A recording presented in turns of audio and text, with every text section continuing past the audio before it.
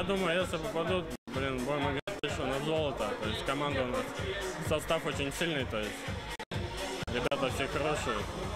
Я думаю, все в наших руках. Будет приятно, я думаю, будет каждый матч полный стадион. То есть и близкие где-то смогут приехать уже все равно не за границу, 500 километров. То есть, я думаю, это еще больше мотивации будет давать.